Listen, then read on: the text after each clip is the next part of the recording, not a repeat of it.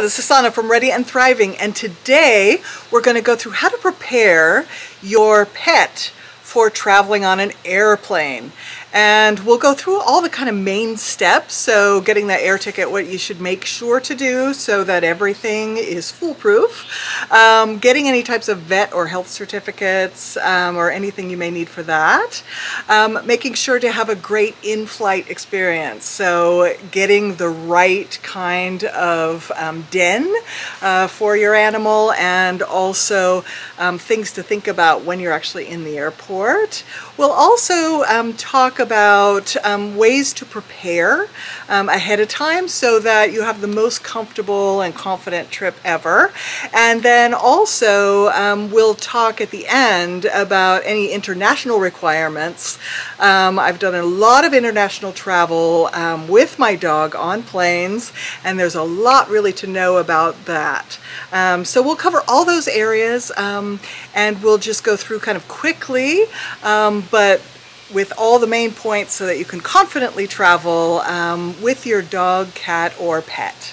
One of the first key steps is getting that airplane ticket and getting it done appropriately so that your pet can ride with you in the cabin. And not all airlines allow that, and even airlines that do allow it on some flights may not allow it for other flights.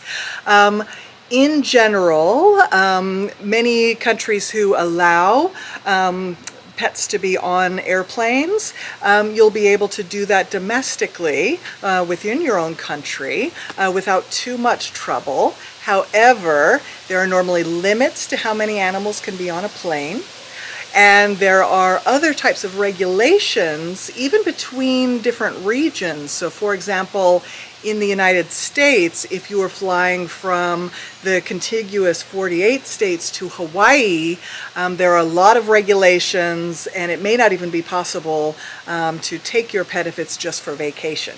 So important to know all of those things um, and to get your flight set up appropriately. So what are the key things to do? First thing is research which airliner um, that flies between your destinations and is pet friendly. And there's so much information online now that you can go to your preferred carriers and check that out or even look online for which are the carriers that are known for being particularly good with pets. Um, so for example, um, in the US, um, JetBlue is very good. Um, and there are many of them that actually um, you can fly with your pet. Um, in the UK, if you are flying um, domestically, it's less of an issue, but if you're flying internationally, it can be very complicated because of different types of quarantine rules. Um, but even they have a part of British Airways that flies from Paris um, to other destinations that is very pet friendly. So do check um, your preferred airlines and find out their pet policy and just first of all confirm that um, the flights can take place and that they allow pets. And then secondly, learn their pet policy. So what is it that's needed for it? Um, they'll normally have the details of what type of carrier, um, which section of the seats um, you can sit in um, as normally in-cabin pets go under the seat in front of you um, in a nice little carry case that looks a bit like a gym case. Different types of plane configurations um, only have that space available in certain areas. So in some cases you'll be limited that you must fly in economy um, to be able to have enough space uh, for your pet.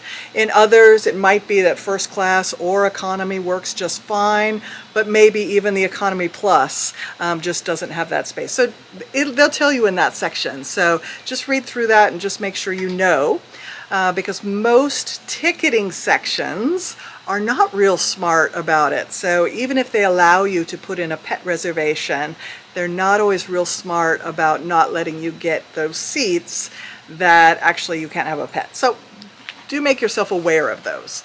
So that's the first thing is just to research which airline's going to be best for you. And then in the ticketing process, make sure to make sure it's a two-step process. So when you're making your reservation, um, do your best to actually get the pet reservation in there.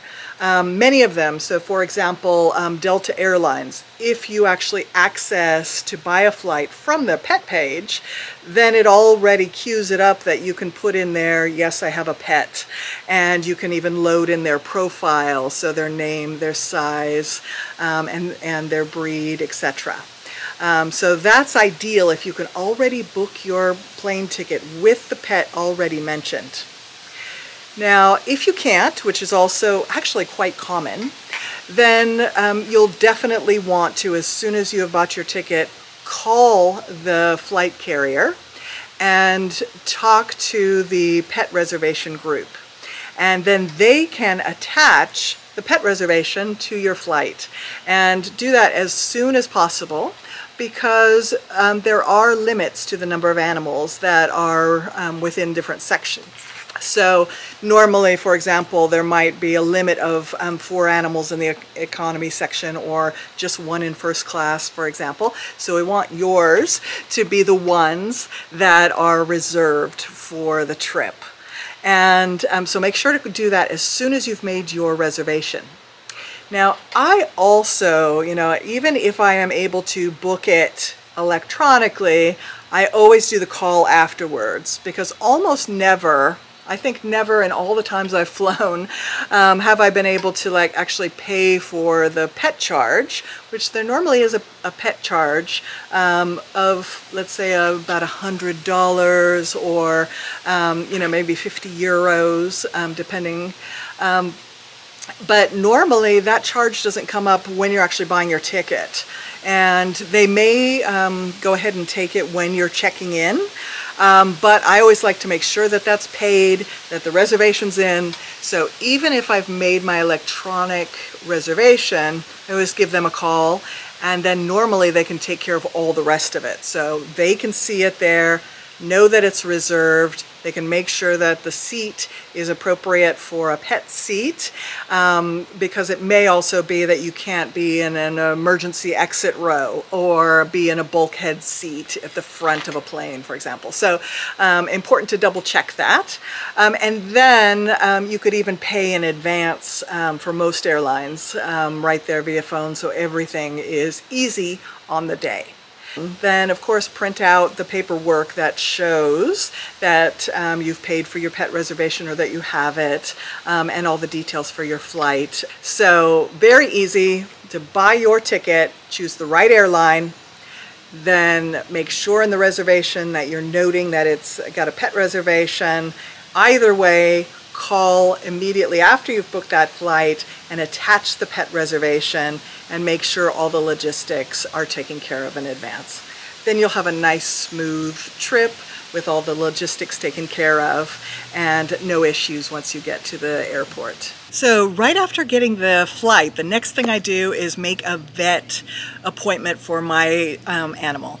And the reason for that is really twofold. One is, of course, for overall health. So I want to discuss with the vet um, that we're flying and also where we'll be going, because maybe there'll be something there that's unique that we may want to um, prepare for. So maybe they'll need heartworm medication in that particular area so we can go ahead and um, get that ready to go. Or if you're going um, someplace where there are rattlesnakes or something, there are vaccines for that. Um, so, you know, you can prepare in advance and get everything you need to have a good, healthy, safe trip. Um, the other thing is, is you probably will need to get a letter or health certificate from the vet to fly. Um, so, for example, um, it may be either a letter or even a health certificate with stamps and all that sort of thing that shows that your animal is fit to fly. And most airlines will want that. Um, in some cases, um, your animal may have a pet passport. So if you're in the EU or in some of the neighboring countries of the EU, you will have a pet passport, and there is an area uh, for those um, stamps that, yes, they're fit to fly on these dates um, and that sort of thing. So it may just be in here, or you may actually have to get um, letters with official stamps, depending on what country you're in. So you, now the other thing is that you'll want to know about the regulations of where you're going. So, like I said, in most domestic flights, um, it's not really that much of an issue. Um, however, if you are going to an island or something like that, it may be slightly different, um, even though it's within the same country. So definitely double check that. And if you're going internationally, you'll definitely need other paperwork. So that's absolutely critical. We'll, we'll cover that in more detail at the end, but important that you must get that from your vet, um, any type of information that you need. Now, if they, you are on a um, European scheme, everything will be in your pet passport. It'll be super easy. It'll have their microchip number with all the vaccinations, um, all the certifications, and all the appointments um, where they're fit to fly all in one easy way to do it. Um, but then you may also need to get something if you're going to particular countries don't have certain diseases at all, like certain types of parasites. They actually require you to have a treatment 24 hours before you go. So just know that, and then you can get a quick certificate also that your animal has um, had that treatment and that they're good to go um, into the new country. So you'll need to make sure that you get all of those particular pieces of paperwork, um, whether they're in your passport, whether you have um, letters or certificates.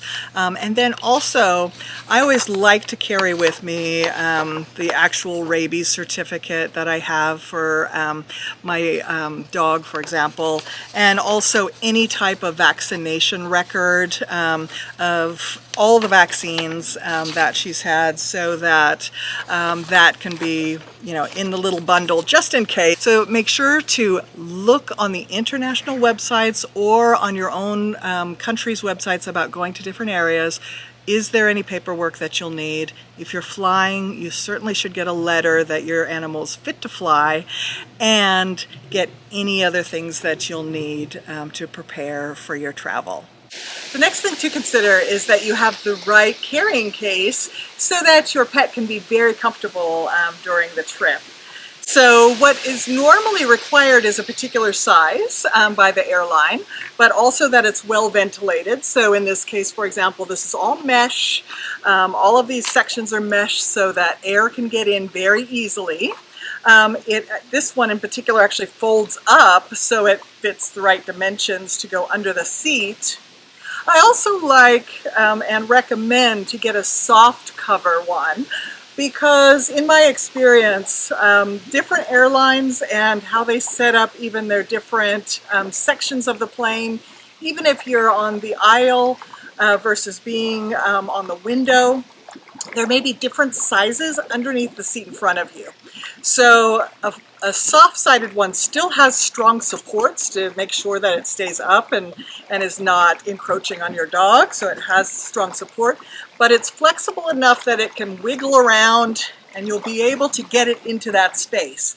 So I do recommend that, even though they say the hard carry ones will fit, in my experience, it's best to have that flexibility if you can. Now, I do like that this one can actually fold out a bit, give my animal a little bit more space um, so she can be in here and comfortable and, and I can carry her easily um, over my shoulder. I can reach in from the top and pet her. Um, there is also a feature um, that has something that will attach to her collar so that if I do have this open, she can't jump out, for example. So there's some good features like that um, to look for. Um, and I do like the side opening because then you can use whatever space there is that's extra just to give that little extra um, space uh, for the bed. The other thing you want to do then is to uh, make sure that your pet is very comfortable with it. So I always like to introduce my dog or reintroduce her to this by putting some treats in, um, having it down on the ground for a while, hiding some toys in here, making it kind of a fun thing and a little den that she can go into and start to get very relaxed and comfortable in it. What you don't want to have is an animal already frightened um, by the case that they're in and then also being put into a new situation at the airport, in a plane, um, the noise of an airplane, for example, too. So get them accustomed and happy enough, maybe even take them on little car rides or something with um, this bag or carry them around um, a little bit just to get them used to pace. And make sure that the bag is packed with everything that you will need for the flight and the travel there. So if you do want to put any blanket in, any toy, um, if grooming might be needed, uh, you may want to bring that as well. Make sure always to have a water um, bowl and I do once we get into the flight and she's under the seat then I'll fill that with water and put it in with her um, at that point um, so that she does have it for the duration of the flight. So you'll always want to have this even if it's a short duration flight because you never know if a flight is delayed or anything like that and you'll want to be able to um, give them some water. Um, I like these that actually you know get down to a nice small size um, so that they're easier to carry so um, the fabric ones or these silicone ones. Also make sure that you have um, the name of the dog. I always like to put my travel itinerary actually in the bag